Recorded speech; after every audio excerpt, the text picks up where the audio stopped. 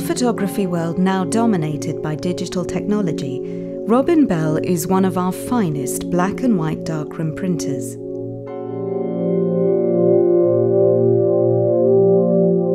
He's a very good printer. I think he's probably the best on the planet.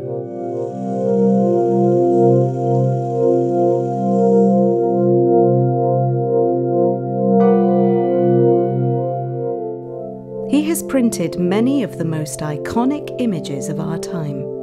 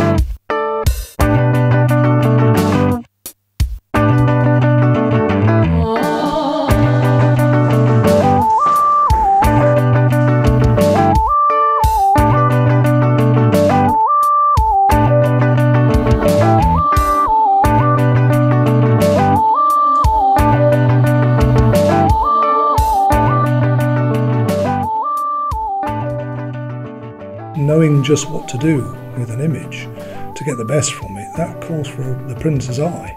And that's what differentiates what I describe as a master printer from somebody who can print.